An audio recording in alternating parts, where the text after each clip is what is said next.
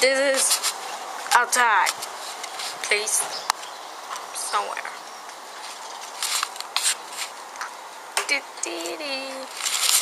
Dominican flag. Woo.